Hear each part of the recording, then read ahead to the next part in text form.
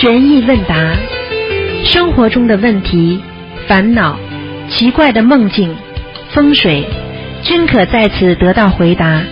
请收听卢军红台长的悬疑问答节目。好，听众朋友们，欢迎大家回到我们澳洲东方华语电台。今天是二零一七年的一月一号了，星期天，农历是十二月初四。那么今天是元旦新年，希望大家呢能够在新年当中啊，能够要好好的学佛修心。好，那么下面就开始解答听众朋友问题。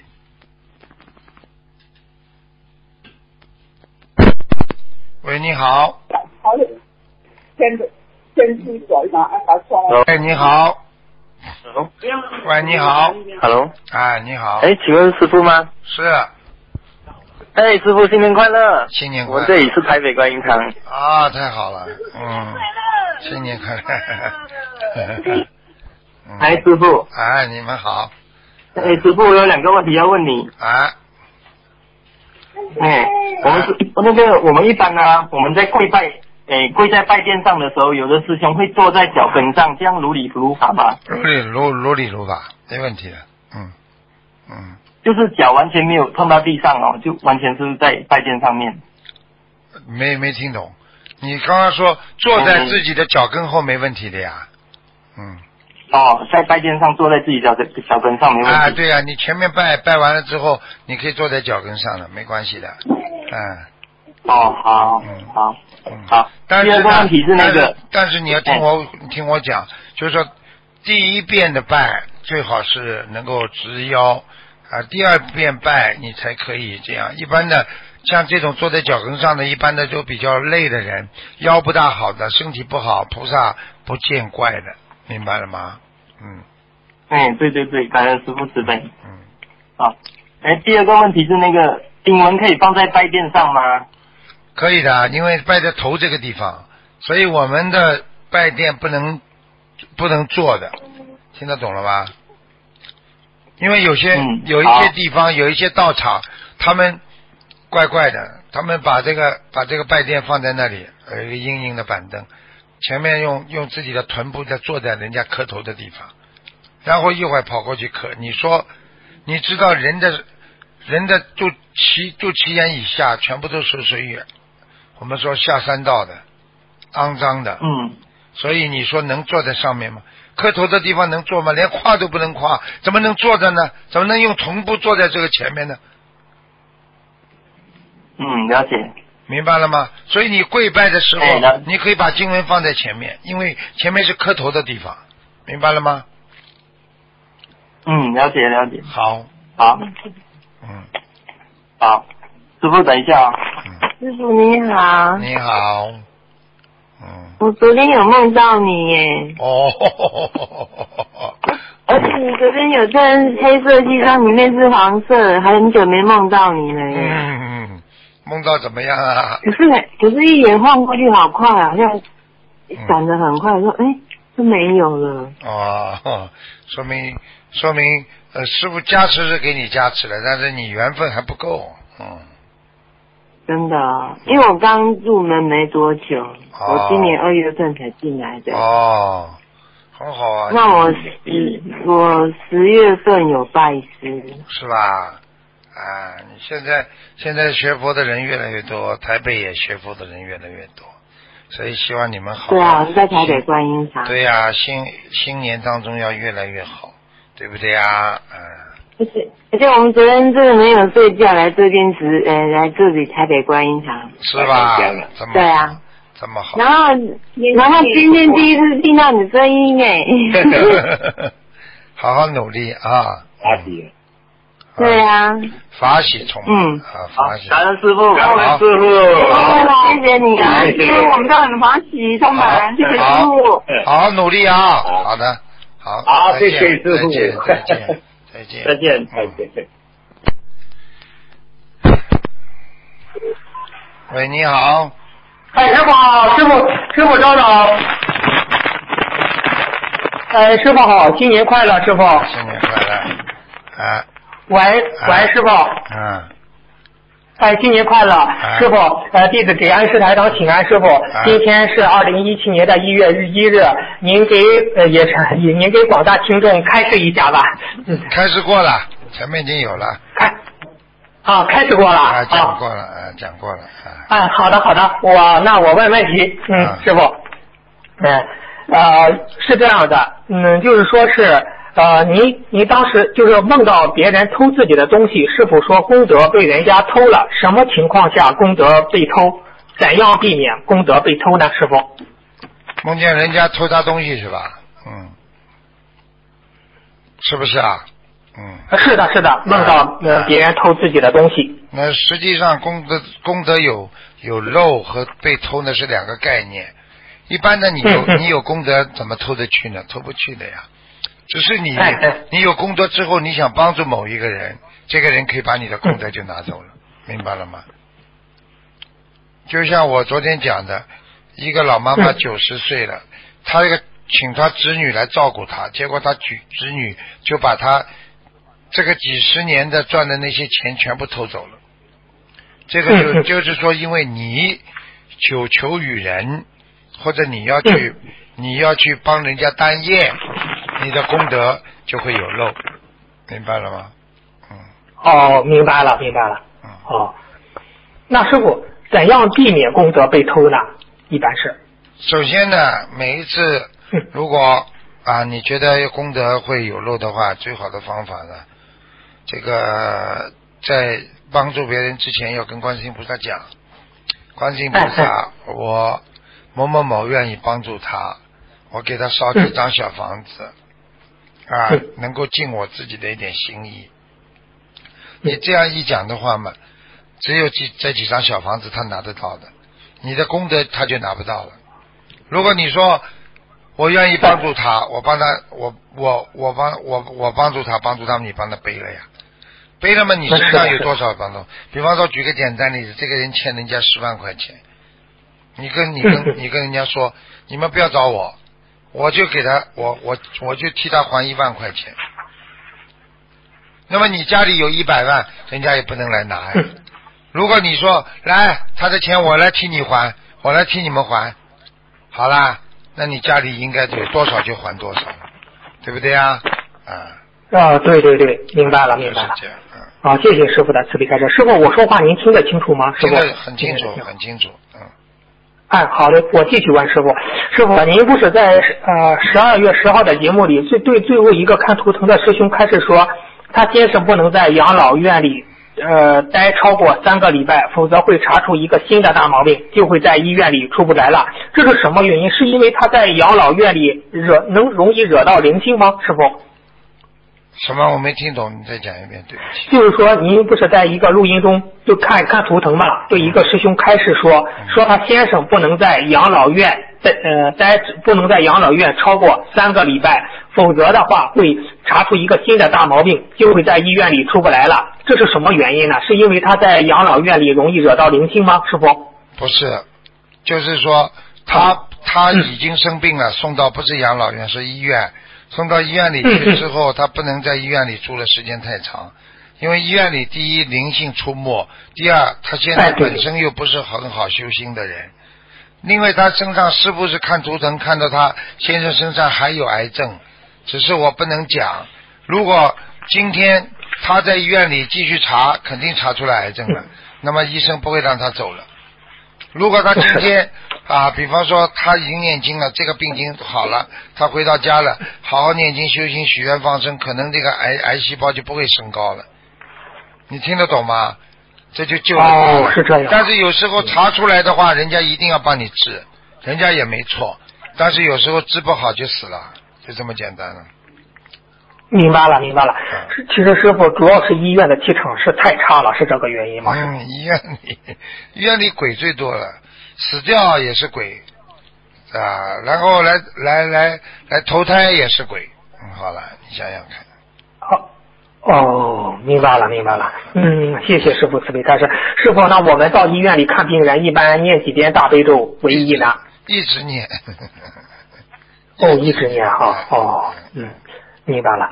那师傅，我我再问一个问题，就比如有的学佛的同修去参加一些场合，就是说是那种场合都是吃荤的啊，一些海鲜之类的，他们回来之后就感到头痛啊，这是什么原因呢？这很简单了，因为你你是念经的人，你不应该到这种地方去。你去了之后，举个简单例子，你等于一个你念经的人干净嘛，有钱的人嘛，嗯嗯，对对对你，跑到个穷人堆里，人家都拉住你问你要钱呀。你你你你念出来的啊经不就是像钱一样有值钱的吗？对不对啊？哎哎哎，哦哦，明白了明白了，谢谢师傅的慈悲开示。那师傅下一个问题。就是您在看图腾中对一个有开了天眼的师兄说，如果累了就打个盹儿，不要硬撑着，否则灵性会上山。这是个个案吗，师傅？呃，基本上基本上都是一样的，因为你要的呃，因为为什么呢？当你很累的时候，我觉得你们就应该休息。一个人很累的时候，实际上这身体告诉你、警告你了，你撑不住，你就得休息。啊，但是休息哪怕哦一会儿也会好，不要时间太长。嗯，明白吗？哦，明白了，啊，明白了，谢谢师傅的慈悲为什开示，师么说有。为什么说有灵性上去呢？很简单，嗯，因为当你硬撑的时候，你不想睡觉，你会很难过，很难过的时候，你会产生一种厌恶感和烦恼感，而这些烦恼感、厌恶感这种气场，就会让灵性来找你。嗯，所哦以，那师傅您说的这种厌恶感、那种烦恼感，是不是就是负能量？也可以说是负能量容易招惹灵性，是这样吗，师傅？完全正确。所以你去看好了，一个经常倒霉的人，一定是平时负能量很重的人整天觉得不开心，紧紧整整整天眉头紧锁，整天觉得怎么样怎么样，这种人负能量特别重。嗯，他整天觉得不开心哦，他整天觉得哎呀谈恋爱谈的不开心，工作嘛工作也不开心。啊，看见朋友们 这些烂朋友又难过又不开心，他看、嗯他看什么都不开心。你说他看，这些人不就跟鬼一样啊？那鬼当然来找他是的，啊！你对人间没有好感的话，鬼就来说来到我们这个世界去吧，就这样了。嗯，哦，明白了，明白了。那谢谢师傅的慈悲开示。师傅啊，呃，您看出一个人说是天上下来的，您是指的这个天上下来说，他是指的是哪一世呢？是前一世还是大前一世？大前一世啊？都有可能的。一般的天上下来哎都是说的是上一世。哦，如果说是在前一世，师傅会加个说明的，说好几世前。如果我不说，就是上辈子。嗯，哦，明白了。那师傅，您说的有些同修是仙女下来了，仙女是哪一层天呢？是超脱六道呢吗？还是欲界天、色界天、无色界天的？欲界天，仙女的，所以你看那些电影演员，长得长得很好看的，都是天上是欲界天的。他们到人间来享受一些福报呀，享受完了嘛，接下去天都回不去了呀。所以他们还不懂，他们很不懂，他们傻傻的，还以为自己耍大牌，他们还以为自己不得了了，不愿意给人家拍照片，还不怎么样，不怎么样，还觉得自己很了不起的，上不去了，结束了，下辈子都人人人间轮回了。那师傅，那仙女下来是她是有，她一旦是天上的仙女下来，她必定有来人间是有具呃必一定的使命，还是来人间享福的呢？他来他下人间的时候，受报，他在六道轮回呀、请不要忘记，哦六道里边有个天道的，闪闪的。是的是的 他到了天上，哦他到了一定的时候，他坐不住了，他必须要轮回了，只是在啊天上的时间长而已啊啊，哎呀，是啊是啊，很苦的。他们自己还不懂啊。哎呀，嗯，明白了明白了。他们还觉得自己很了不起的，他就觉得自己，哎呀，你看看呃这么多人恭维我，这么多人怎么样我，看见我，哎呀，嗯都羡慕我。呃，实际上想一想了，真的，你看师傅为什么没有这种想法？我就觉得人生很可怜。啊，我觉得根本没有说自己觉得像个像个什么明星一样的，哪有这种概念呢？你这个众生，这这人间什么都是假的，什么都苦的，为什么还摆谱呢？我真的不知道为什么。嗯，师傅，真的，师傅，我在最后一个问题的时候，我就我就有有有一个开始，我就会跟您分享，嗯，师傅的伟大。师傅，下一个问题就是，师傅您以前给一个胃不好的同修开示啊，让他专念往生咒去除肠胃上的业障，这是个个案吗？还是哪里不舒服，针对哪里念往生咒呢？师傅？其实这个呢，虽然是个案，但是呢，它也有嗯这个大家都能接受的地方。因为记住了凡是肠胃不好啊，就是吃的方面出问题。吃的方面，很多人的肠胃不好，就是因为吃活活的海鲜吃的太多，还是或者活的东西吃太多。往生咒是必然要念的，所以当你肠胃不好的时候，你必须念往生咒啊，就是这样。哦，嗯，那师傅，您说这个必须念往生咒是专门祈求观世音朝吧菩萨，观世音菩萨专门超拔我肠胃上的小灵性，还是这样泛泛的祈求呢？师傅？泛泛的祈求，因为你单泛泛地祈求单念往生去不掉的，就是只能念小房子，嗯，才能去掉，嗯。哎哎哎，好的好的，好，谢谢师傅慈悲开示。师傅啊，呃，脾气倔是什么原因呢？师傅，这个人脾气太倔。你等等啊，我喝口水。哎，师傅，我等着你，不急的。那脾气倔是怎么造成的？讲给你听。第一嗯，前世；第二，投胎的家庭对你的影响；嗯。第三长期的生活环境；第四，交的朋友；哦，还有一个，一共五点；还有一个，在社会环境的反射之下，对自己内心的不平衡所造成的。你这个哦五点好好记住了。所以很多人说脾气很多人说脾气脾气不好，脾气不好，你以为真的啊？脾气不好了，脾气不好，他看见他老板，他怎么不敢讲话？他怎么专门 专门专门脾气不好，对着人家那些懦弱的人，他怎么就脾气不好啦？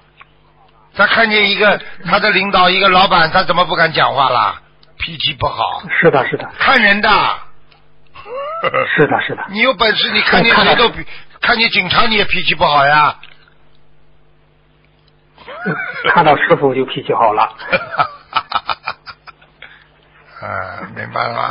那那师傅如何改改正这个脾气倔呢？师傅修心呀，修养呀，修行。啊，嗯修养。一个一个人要有修养啊，修养嘛，就好好的修呀，把自己的把自己心中的这个养成心中一股浩然正气呀。嗯嗯浩然正气就是你养出来的呀。修养修嗯养嘛，把自己好好的心要修好，然后呢要修养，就是人家说有这个境界啊，慢慢的懂得什么叫境界。境界是什么？哦境界就是你能够了解别人，了解自己，你能够圆融别人，圆融自己，你能够宽宽恕宽恕别人，能够宽恕自己。你慢慢就有境界了，你能够理解别人，才能理解自己。啊，这些都是很哲学的东西。你自己慢慢的学会这些，你就会这个这个这个战无不胜啊，明白了吗？明白了。那师傅，你刚才说的浩然正气，我想浩然正气与这个嫉恶如仇是是有嗯区别是什么呢？师傅？浩然正气的话是，人家不能对你造成伤害，因为你、因为你浩然正气的是是接天接地之气，啊浩浩乎在乎天地之间嘛，地之间。啊、嗯嗯，啊对不对啊？所以对对对。所以这个浩然正气来自于菩萨，来自于天地之间，所以没有鬼啊、哦魔啊能够搞你的。所以嫉恶如仇的意思呢，就说你说的是你这个人很正，所以你对那些不好的、邪的、魔的东西呢，你不会接受，也不会看得上眼的。啊，嗯就是嗯这样，是这个概念。嗯，哦，明白了。那师傅啊，您说这刚才说的这个脾气倔，这个大悲咒念的多，对这个脾气倔有影响吗？师傅？我举个简单的例子，呃对不对啊？嗯啊，你一个人正常，身体正常的话，你吃什么东西营养都均衡的，到了你肠胃里边，对不对啊？嗯嗯你要是一这个人本身啊缺什么啊，你拼命的再去补啊，嗯拼命补的话，或者你的身体的营养不均衡，可能补过头了。举个简单例子，你动手术了，你身体已经脾胃很差了，你的身体不好，你拼命的吃西洋参，或不吃西洋参，说明吃山参，补啊补啊补到后来你鼻子都出血了，补到后来你脸上都长疙瘩了，你就过头了。这个就这个道理，只是举个简单例子给你听。一个正常的人念大悲咒心经都不会过头，都不会说因为念大悲咒会脾气大，不会的，嗯因为它会有一种正负能量的消耗，它会阴阳调和的。但是有些人他本来就是阴阳不调和，你叫他大悲咒念了，他真的有时候会火气比较大，明白吗？因为能量嘛。哦嗯，哦，那师傅，你刚才说的这有一种人，他不是你叫他念大悲咒，他火气比较大，他大悲咒应该念多少遍为一呢？师傅？实际上呢，大悲咒并不是念了你火气大，大悲咒给你增加能量。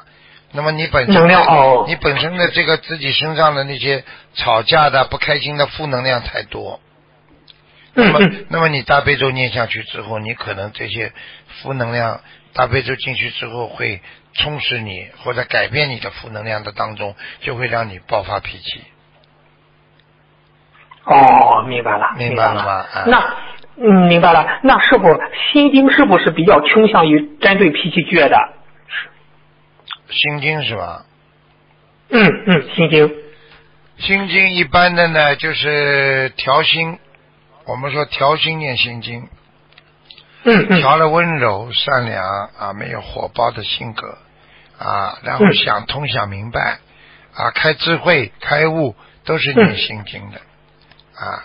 大悲咒呢是增加能量，身体不好能啦、生病啦啊什么什么啦，或者有魔啦、有心魔啦、有鬼啦，都可以念大悲咒，就是这样的。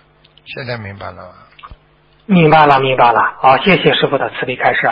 师傅，下一个问题，分享一个同修的梦境吧。嗯，他呢就是梦到了，哎呀，真的是他梦到了观世音菩萨，他就问观世音菩萨说菩观世音菩萨给师傅放给给师傅放生，呃，您开示一下吧。我们的给我们的师傅，观世音菩萨说这个问题主要看这个问题主要看发心。一个人整天想着自己眼界也就是方圆一米之内啊，那么他的境界只是凡夫啊。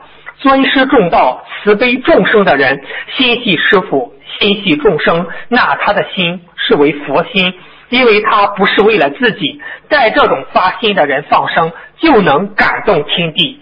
有些老妈妈的经济条件不好，她给师傅放生一条鱼、两条鱼、十条鱼，照样感动天地，因为她不容易呀，这是她的发心呀。结果接着同修问：“那给师傅住念小房子呢？”观世音菩萨，您开示一下吧。师傅说不，观世音菩萨说，有些佛友自己业障还比较重，建议还是自己先消业，因为给师傅念小念下的小房子气场不好，会影响师傅。如果自身业障轻了，给师傅念当然可以。是吧？嗯。他是这样。观世音菩萨，观世音菩萨对我一直很好的，我知道菩萨，我知道菩萨会讲这个话的。观世音菩萨他很爱我的，我我我呢讲心里话，有时候呢，嗯有时候呢，有些人小房子念过来真的质量很差，我也不敢用啊。然后呢，有的有的时候呢，这些佛友帮我放生，我的确感觉到啊，自己在他心中就很舒服。啊讲心里话也是这样啊，有的同学帮我放很大的这个鱼啊，嗯师傅就是会觉得非常的非常的开心，讲不出来的。实际上这些都是嗯。这些都是因为因为师傅现在是连自己生命都不要再救助众生，他们嗯他们这样也是在也是在做功德，而且他们是做大功德的嘛。那尊师重道，这本身就是功德嘛，对不对呀、嗯。是。对菩萨说尊师重道、慈悲众生的人，心系师傅，心系众生，那他的心是为佛心。啊，你看看看，你帮师傅放生的时候，你就是佛呀，佛心呀，因为你真是重道那。师傅，师傅刚才您刚开始您讲到了，你有些佛友给你念小房子，您都不敢用，是不是他有最重要一点要必须吃全素呢？师傅？应该的，如果不吃全素给我念出来的小房子，你说有什么大效果？真的没嗯没什么大效果的不行的哎，你说说看，一个吃素人念出来小房子好，还是一个不吃素念出来的好？不要讲了，那个气场嘛肯定有影响的，啊，对不对啊？啊。对对对对脏，啊！你想想看，他吃荤的人呢，你去看看他吃，他吐出来的气口气都是臭的。你想想看，到了肚子里，嗯这这这这烂烂鱼啊，它会烂掉的，在肠胃里腐烂的嘛。那些嗯肉，你想想看，几天坏掉了，马上这个肉就腐烂了。你想想看，你吃到肚子里三十七度的温度，不就腐烂了吗？一腐烂，什么酱油味道什么都没了，在里边就你们讲句心里话，你们过去吃荤的时候，吃到后来你们反胃，如果吃太饱了，是不是有股腥味儿出来啊？嗯，是的，是的，啊喉咙里打出来的嗝儿都是非常的臭啊！你这种念念出来的经怎么能质量好啊？你还给师傅念了，嗯，哎呀，我师傅只是说，因为他看到他们有这种发心而已，我不讲。嗯嗯，你看这这个是这也叫慈悲啊！实际上你说这些能用吧？你告诉我能用吧？哎，是。那师傅，你第这样说是第一要吃全素，第二就是说观音菩萨说他一自身业障轻了，他这种自身业障轻了，他怎么去这样去衡量呢？自身业障轻。简单，自身业障轻嗯自己都知道。第一，烦恼少；第二，嗯他觉得精进很精进；第三，他觉得自己很干净，自己都知道的，自己干净不干净不知道啊。你你你你你你你不做这种坏事，不动这种坏脑筋，你你自己嗯不知道自己干净不干净的。嗯，明白了，明白了哎，师傅。哎嗯谢谢师傅的慈悲开示。师傅，那我们给师傅放生的时候持怎样的心呢？是是是想着师傅，还是想着天下众生呢？这个心态怎么调想呢？师傅？这个给师傅放什么就想师傅了，很简单。嗯想师傅啊就像我们、哦就像我们给自己父母亲放生，当然想着父母亲了，能够得度啊，能够让他们身体好啊。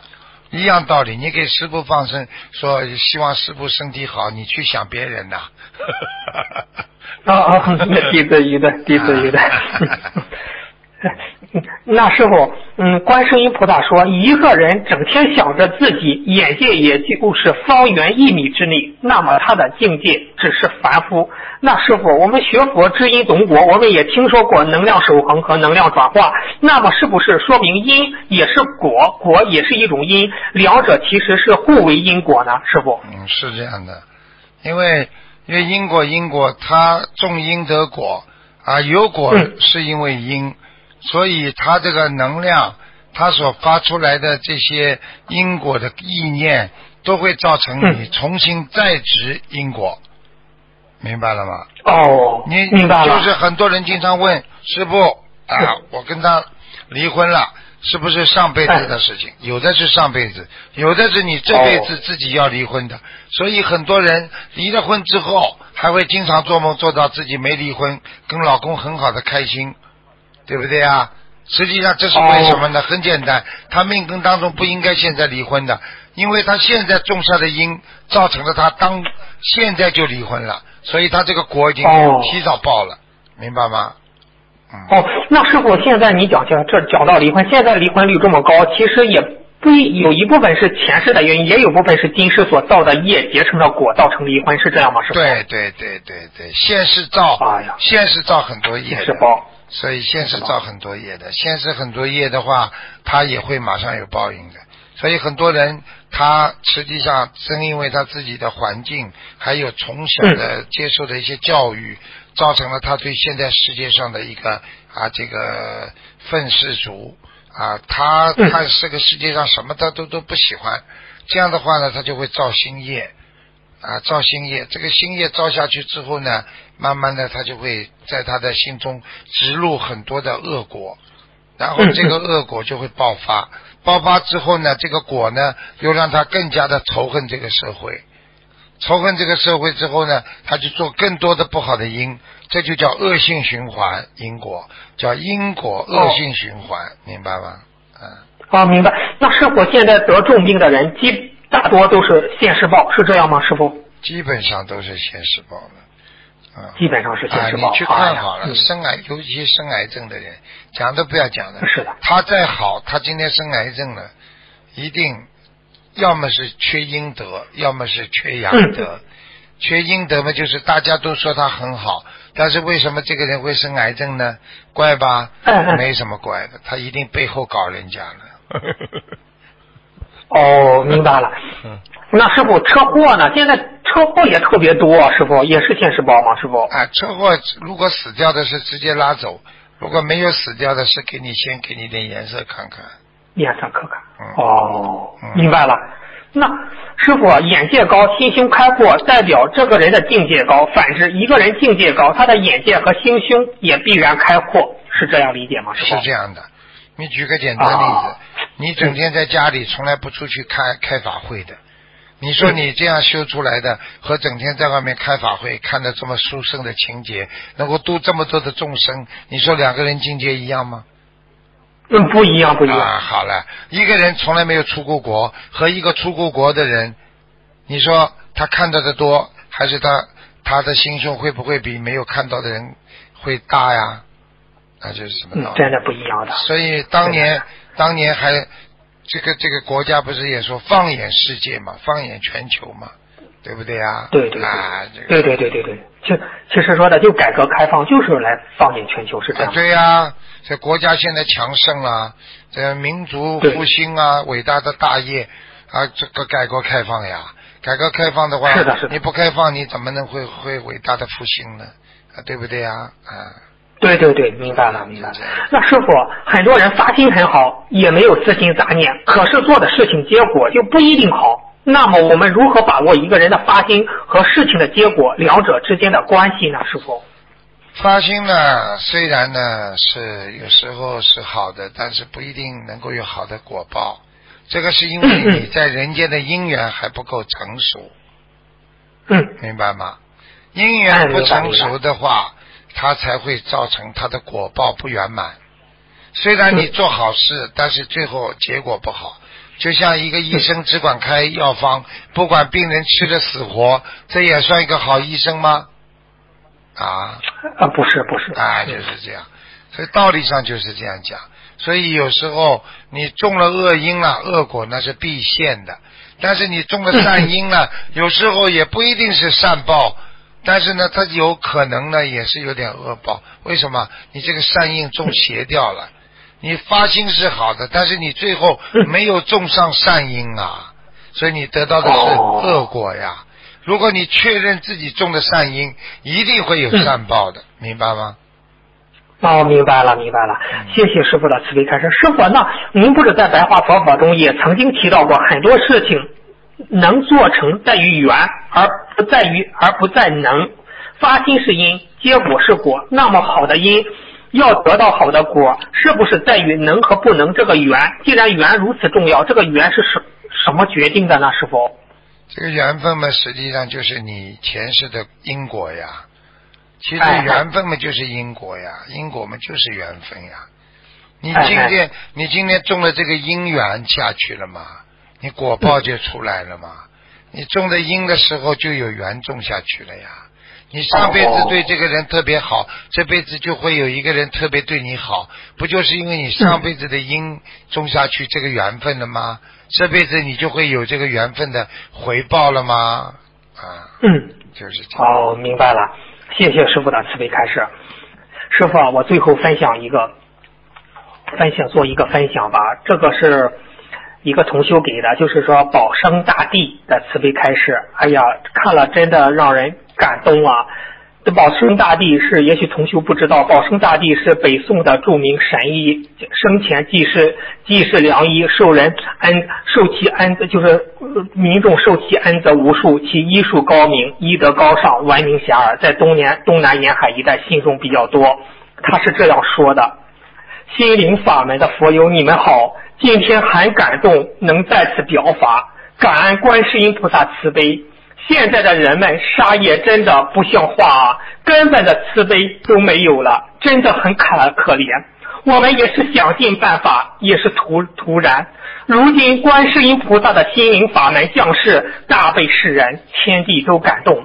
现在不光你们得救救，动物也跟着得救，真的感恩观世音菩萨。说到药理，希望大家能够多多进补一些食材，在你们食饭书中也添加一些枸杞、大枣，这些都是天上的宝贝。只不过人间比天上小点，薏米粥是好东西，大家有条件的可以喝点，不要听社会上的补元汤，那可不是那可不是补元气的，你们不懂啊，那个热量大的都可以把你的身体喝坏。不能听风就是雨啊！学佛学法就是简简单单，不把佛法知识运用到你们的生活中就足够了。吃的上面以清淡为主，多多吃一些白菜，这都是对身体好的。还有胡萝卜，这都很好。不要吃刺激性大的食物，这样也不是很，这样也是不好的，会给身体造成某方面的欲望。吃的上面，大家也是克制一下，慢慢的就习惯成自然了。看看你们的师傅多苦，清水的面条，他把爱都给了你们，你们一定要争气啊！他不求什么，他只求今生能够多带几个人回家。他把人间的欲望都放下了，他给予你们的是百分之一百二十的能量支持，你们一定要争气。今生能冲出六道的人，一定要跟跟好台长一起回家。时间不多了，很多的学佛人开悟的时候已经五六十岁了，时间还多吗？你们还有时间蹦迪吗？时间太少了，让你猛进修，你都不敢套了，你还不着急呀？你们的师傅真的心急呀，他老是说，如果我再早。几十年像这像现在这么开悟，我得度多少人啊？但是你有，但是你又想过你的身体受得了吗？你为众生的辛苦，我们看在眼，我们看在眼里，疼在心里。我们知道你在人间受尽了苦难，但是你的心永远只装着观世音菩萨和普天下的众生疾苦。你太累了，可你从来没有喊过停止。我们为你感动的涕泪横流，你为众生背了一身的业力，我们一定好好为你护法。今天你完成了观世音菩萨的大愿，我希望天下的人也能够真心的跟着台长一世修成。今世你们说什么都都要上去，不管是为了成佛还是为了众生，总之你们一定要争一口气，不要让菩萨为你的出离再来人间，你们懂吗？跟住你们的师傅，我作为台湾方的地神，我一定好好的护持心灵法门的同修的，请台长放心，心灵法门感动天地，大家一定好好跟随台长一世修成。不要再轮回了，谢谢大家。嗯嗯嗯。哎，师傅真的是很感动，师傅。呃，第他这个这个这个这个大帝那个叫保生大帝。保保生大帝呢，他是这样的，保生大帝呢是他是就是沿海一带啊，东南亚，包括中国当时的沿海一带的非常有名的一个神医呀。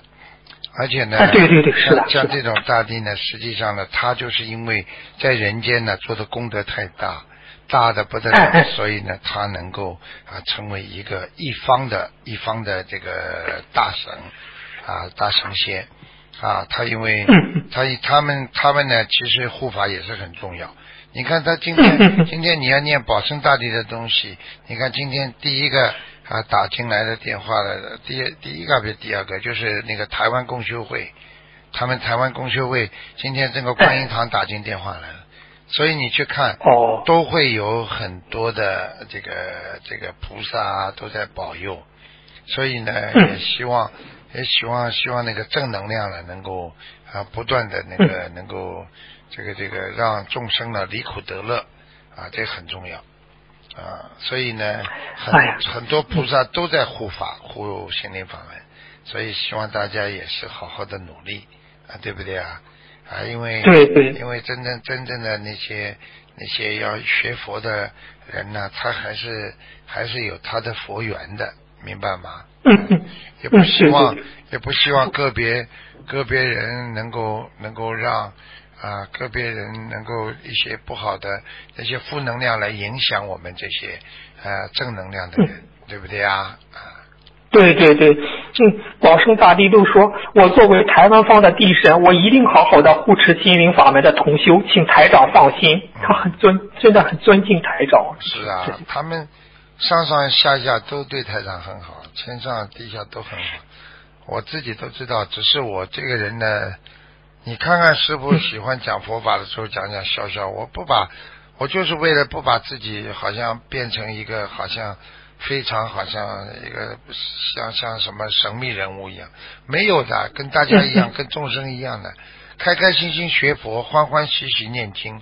就是让大家离苦得乐，就是这个目的嘛。呃不要不要有觉得自己，你你纵有纵有这个这个这个啊满腹经纶的话，你最后还是应该用之于民，取之于民嘛，对不对啊？嗯你好好的明白救度众生，否则怎么能成菩萨成佛呢？明白了吗？嗯。明白，师傅，您您又一定保重好身体。你看，保生大帝都说你太你太累了，可你从来没有喊过停止。我们为你感动的涕泪横流，你为众生背了一身的业力。是啊，，保重好身体。菩萨经常讲的，说呃跑跑的来累得不得了，然后呢还背一身业回来帮人家，跑的来。现在你看我这次飞机上回来，嗯我心脏非常不舒服，人人非常非常不舒服，很难过的。哎呀，胸闷呢，嗯，所以这个身体真真的有点小问题，就是太累了，真的，嗯整天的就是。呃师傅，今天听您讲话都感觉您不像以前，就感觉还是有些累啊，师傅。嗯，很累，没没还没恢复啦。第一天回来的时候，整个人就像就像倒时差一样的，浑浑叨叨，一会儿像水，一会儿像水的，不是这么师傅真的救人不是这么容易的。所以很多人嘴巴里讲的好，我要救人，我要一世修成，我要发愿，你付出多少啊？你不要讲的，你看看人家付出多少。所以有些人整天嘴巴讲没用的，上不去的，明白了吗？对，真的，他保生大帝说，看看你们的师傅多苦，清水的面条，他把爱都给了你们。他就说，他给予你们是百分之一百二十的能量支支持，你们一定要争气啊！真的是，唉，没办法，真的上去做菩萨的有几个了？这只能也是随缘了，尽最大的努力去救吧。救得了的嘛，就是有福气；救不了嘛，就没办法。明白了吗？嗯，那师傅，师傅，那保生大帝说时间太少了，让你冷静心你都不赶趟了，还不着急呀、我们都感感受到这种保生大帝菩萨对大家不精进的着急呀、师傅，您最后说几句吧，师傅。嗯，就是一年过了，很多人又浪费了一年，但是我们学佛的人又精进了一年，我们又积功累德的又一年。但是真的有很多人打麻将啊、赚钱呐、啊，就是在嗯不停的消耗着自己的一些福德。然后呢，有些人呢吃喝嫖赌、吃喝玩乐，嗯啊，实际上社会上随着开放，也是的确有一些不好的西方的这种不好的这种东西，也也嗯也给人间带来了很多的麻烦。啊，嗯 很多人以为哎呀，这个性开放了，啊，觉得哎呀，过去怎么怎么啊，我们怎么，哎。实际上他们害死他们自己了。你知道现在性病流行啊，艾滋病横流啊，你想想看死多少人呢、过去毕竟没有这些病的，所以有些时候啊，这个残害了多少妇女啊，这这这些东西，所以为什么国家在禁止这些东西啊，不能让它蔓延呢？实际上，很多人就借着改革开放，把一些啊资本主义的一些弊病啊，都都都都都以为是好的，所以这一定要要为什么我们要弘扬传统的文化，就是要保保护中国的那些这个正正性正念，就是我们中华传统文化里面的仁义礼智信，这些都是非常好的东西，而不应该把那些垃圾文化一起吸收进来。所以有些时候，这个这个这这个会带来一些这个这个这个文化文化这个残渣，也就是说这些啊，并不是一一种纯纯的一些啊正能量的文化。所以，我们中国五千年文化历史，我们要保持。为什么台长不断的在弘扬中国的传统文化和这个伟大的佛学精神？就是要为了保持我们这个正性正念，让我们的这个这个炎黄子孙，让我们的孩子啊，让让这个世界上大家都能认清什么是正的，什么是不正的东西。现在的孩子真的这个概念都不分了，尤其在澳大利亚，很多的孩子。这它是相互之间影响啊，相互之间影响。你想想看，在澳大利亚，它有一个省，它这个省里边可以吸毒的，所以一到这个，哎一一到大家想很多人想吸毒，他就赶到那个城里边，他那个地方自治，他那个法律就是可以吸毒的。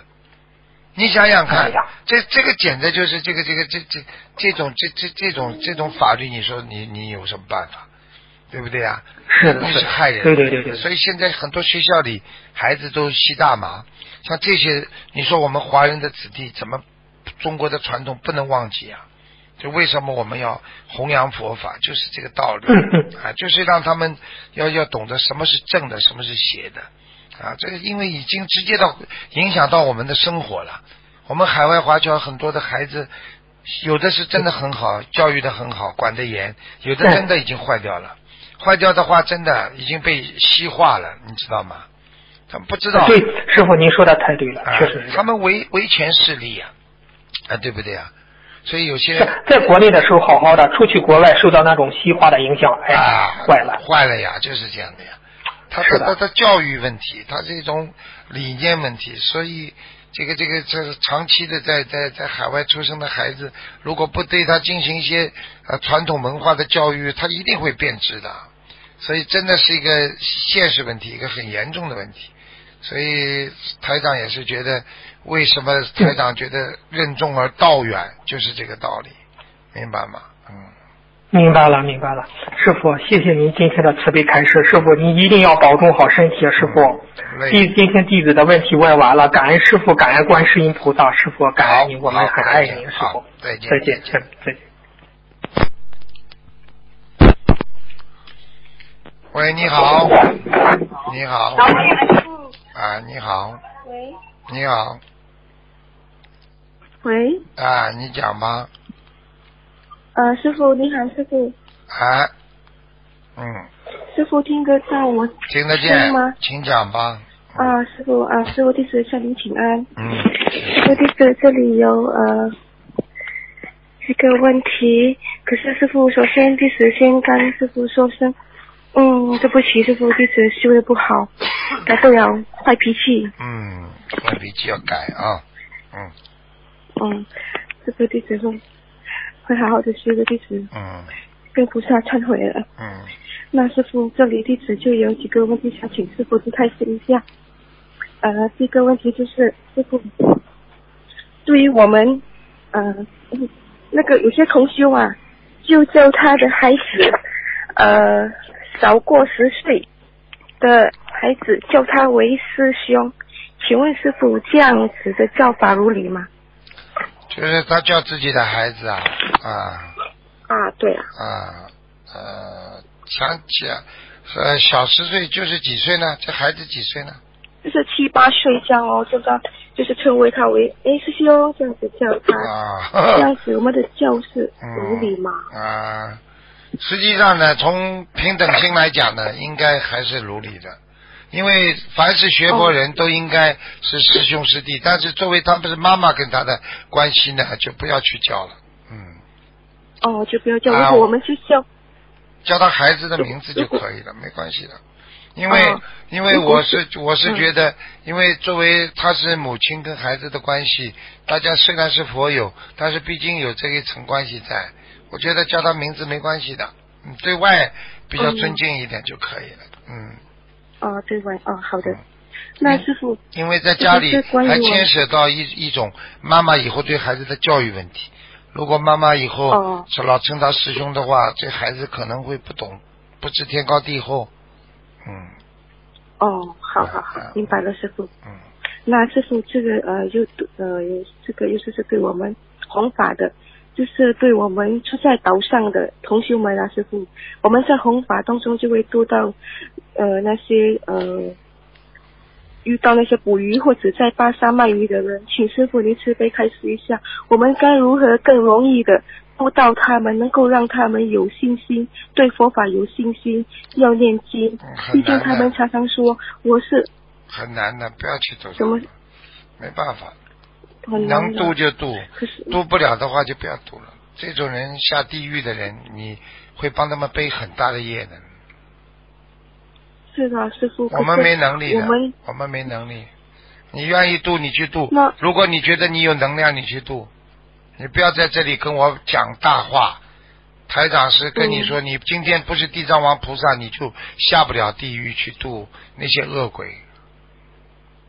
哦，你可以今天跟我讲大话，我要发愿，我要渡你去渡呀。到时候你躺在床上，嗯你被他们夜背的浑身都是，你要走的时候，你才知道我不应该这样。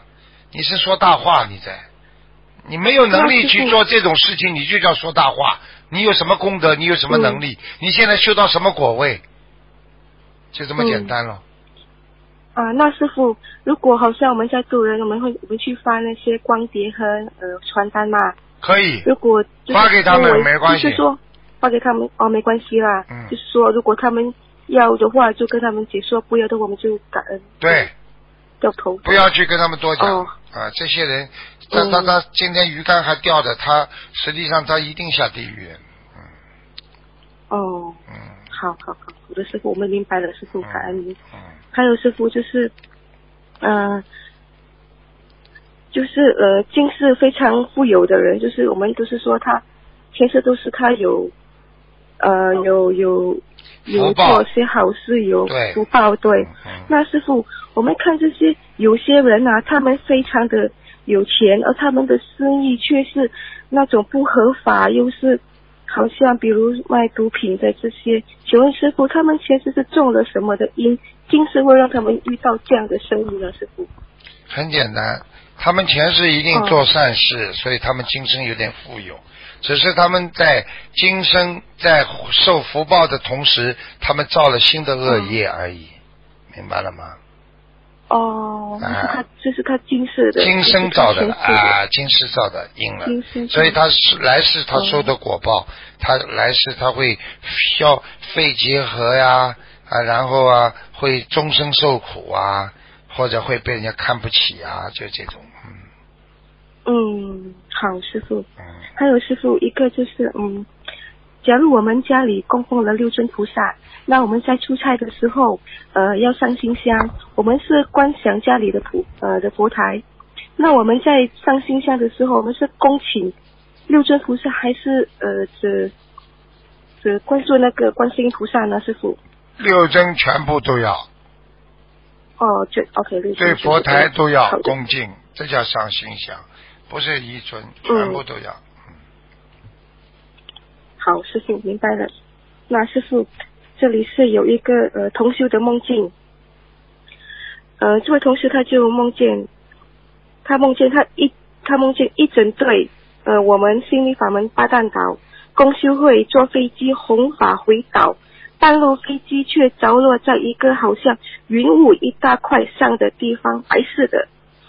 那队长就打电话求救，说这个地方只能水水路，还有飞机能救我们。但这位师这位做梦的师兄就说，就回答那位呃领队说，师兄不只是水路、空路，连陆路也是能通的，因为周边下面很多户家庭。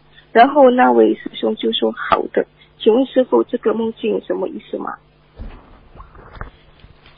这个梦境，首先回答你就是没听懂，哦，因为不知道你说什么，什么陆路水路的，上面是什么？哦，就呃，就是有一位同修啊，他就梦见我们呃巴旦岛心理法门共修会嗯坐飞机弘法回岛啊，师傅。嗯嗯嗯，半路飞机却着落在一个好像呃云雾一大块上的地方，是白色的。好啦，首先先帮你分析这个，你们里边嗯，孩子很好，但是有不如理不如法的事情，所以你们才会云雾当中飞机，明白了吗？哦，嗯明白了。嗯哦，好好好，师傅。那师傅这里就有一个梦境，就是呃，弟子今天早上刚做的，就是呃，我梦见了我过世的父亲，他他他复活了，就是他在那个棺棺材里就一直叫一直叫，那有很多人去把他救出来，他就是全身看他全身是一直肥肥胖胖，嗯蛮好的。我就跟我父亲说，呃，你看啊，你呃，就是菩萨就给你这个机会，让你再复活了。嗯你知道你死过一次，你知道的那那个痛苦了，你知道说我们人是空的，你就，我就跟我的父亲说，你要去呃那个好好念经，你要去现身说法。我父亲就哭了，师傅，嗯请问这个是我父亲他，他他他去投胎很快，很快要去投胎做人了，嗯，这种问题很简单，我告诉你，只要做梦做到复活，所以为什么澳大利亚海外，你比方说西方，它有个复活节，你知道吗？复活节他们哦。把脸画的那个样子，是，要复活节嘛就是死人的再生呀，这还不懂啊？嗯，嗯嗯。哦，好好好，那这样的话，我们还需还需要帮他烧小房子吗？嗯，最好再烧一点嘛，嗯，再烧一点哦。好的，师傅。那师傅这里就有呃一位师兄呃想请师傅您帮他选一个名字，请师傅你等一下。Hello，师傅你好。啊喂，师傅，弟子向您请安，师傅。啊，啊，师傅，呃，请麻烦一下，可以帮我的孩子选几个名字吗？师傅。今天不看图腾的，不能选的，嗯，哦，不看图腾的哈。哎，今天不看。哦，好吗？是你二四六再打打打打电话了。你孩子属什么的啦？我孩子啊，我孩子是属老鼠的，师傅。属老鼠，属老鼠嘛，你要给他有点土字的，有个土。有土字哈，我我现我现在有准备了，喂，喂，看见吧？护法神厉害吧？嗯，不给他看图腾，马上把他挂掉，看见了吗？哼，嗯，你以为啊，护法神还听着呢？喂，你好。嗯，喂，我的妈呀，我的妈呀！快说话，说话，说话，阿姨，快说话，嗯，说话。师傅，哎，你好，嗯，喂，师傅，新年好！新年好，祝师傅在新的一年里嗯，身体健康，万事如意，啊，谢谢谢谢，弘扬中华传统文化，取得更大胜利，好，让心灵之光照亮全球大地。好，谢谢谢谢，谢谢，嗯，弟子今天请教两个问题：好，嗯，第一，泡脚的时候能否念经？可以，可以，可可以哈？嗯，可以，哎，嗯，嗯，呃，再一个 就是观世音菩萨告诉的接天气哎，对身体非常有好处。对，嗯，嗯。我想把这个动作呢规范规范一一下。嗯，哎，嗯就说天之大地嗯。能呃唯有一轮红日。嗯。嗯，天之大宝唯留唯有一轮红日，嗯，人之大宝仅此一点真阳。嗯。